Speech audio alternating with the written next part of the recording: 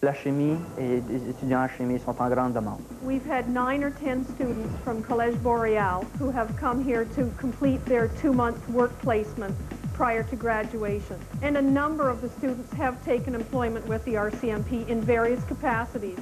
Being a mother definitely influenced my decision uh, going to Collège Boreal, uh, just because it had the uh, job guarantee. Learn lab techniques and instrumentation used in forensic chemistry labs at Collège Boréal. Collège Boréal, prépare-toi à travailler.